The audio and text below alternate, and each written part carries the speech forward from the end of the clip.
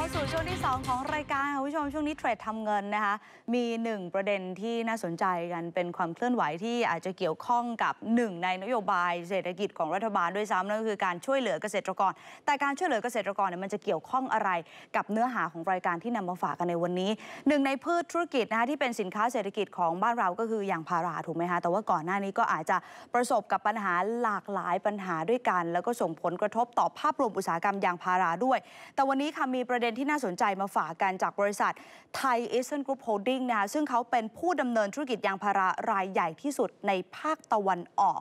กลุ่มลูกค้าหลักๆเนี่ยโอ้ชั้นนำทั้งนั้นเลยค่ะ ก็คือผู้ผลิตยางล้อชั้นนำทั่วโลกหลากหลายแบรนด์ ซึ่งเขาก็มีกลยุทธ์ในการดำเนินธุรกิจในอนาคตที่ค่อนข้างจะชัดเจนนะคะแล้วก็ไม่ได้มองถึงอุปสรรคเลยมองถึง growth ที่จะเกิดขึ้นในอนาคต บริษัทนี้จะดำเนินธุรกิจอย่างไร แล้วก็จะมองอนาคตอย่างไรกันบ้างมีสัมภาษณ์พิเศษผู้บริหารมาฝากกันด้วย เดี๋ยวไปติดตามกันเลยค่ะ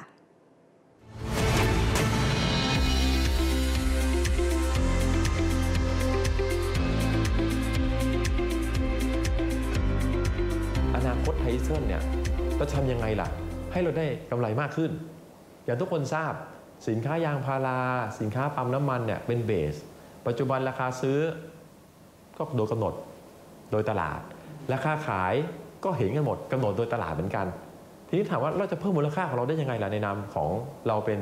สินค้าคอมมูนิตี้ที่เราเน้นยางเน้นปาล์มใช่ไหมครับผมก็มองว่าจุดเด่นของไทเซนตอนนี้ผมว่าเราจะเน้นไปที่หมวดพลังงานครับ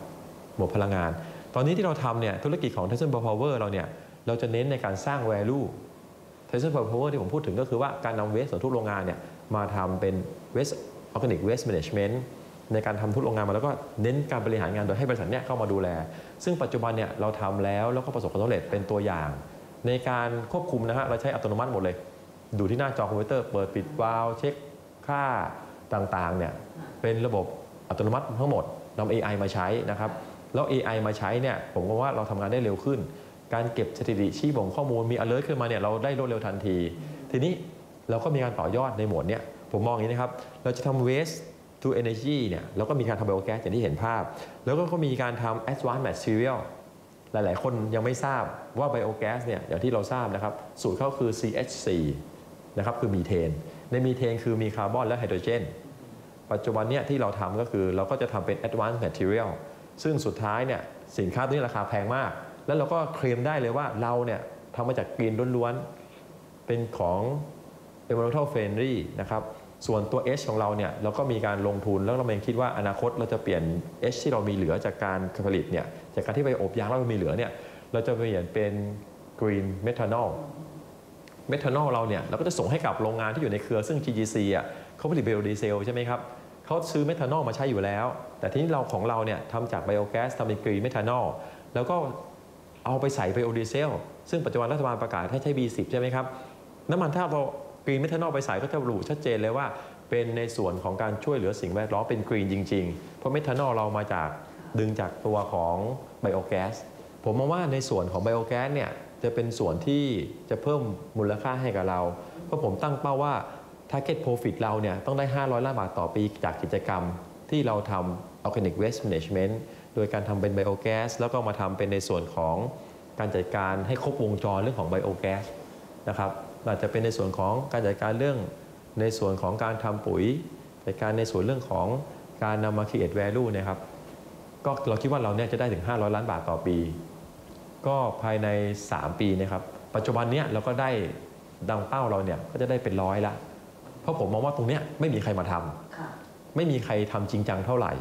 แต่เราเนี่ยทำแล้วแล้วเราก็มีโมเดลที่เราได้รางวัลรางวัลที่เราได้มาโดยการพัฒนาต่อยอด แล้วเราก็มีนักวิจัยที่มาร่วมกับเรานะครับผมก็เชื่อว่าตรงเนี้ยเป็นแนวทางที่ถ้าถามว่าไทเซนจะต่างจากโรงงาน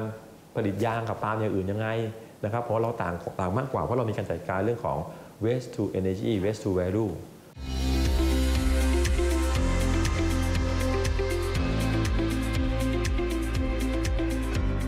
ถือว่าเป็น S curve ที่สำคัญนะของบริษัทค่ะ จุดเริ่มต้นคือดำเนินธุรกิจที่เกี่ยวกับการผลิต สินค้าจากยางพารา แต่จุด ปลายทางที่จะต่อยอดธุรกิจในอนาคต มันไม่ใช่แค่ยางพารานะคะแต่ว่าเป็นการต่อยอดธุรกิจที่